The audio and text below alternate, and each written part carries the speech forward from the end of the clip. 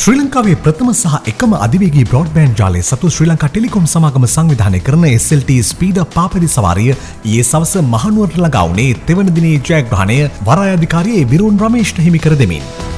අද සිවන දිනේ තරංගාරම්භ වුණේ මහනුවර නගරයෙන්.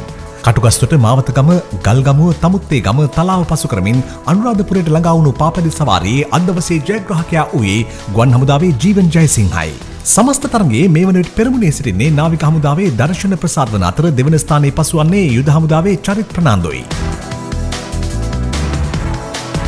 දින පහක් පුරා පැත්වන SLT ස්පීඩ පාපලි තරගේ අවසන් දිනය වන හෙට දිනේ අනුරාධපුරෙන් ඇරඹෙන ප්‍රථමාදියර හබරණ පසුකර පැමිණ පොළොන්නරුවේදී දිවා විවේකය ලබා ගනිමින් වැලිකන්ද වාලච්චේන පසුකර සවස්යාමේ මඩකලපුයේදී අවසන්වීමට නිමිතයි.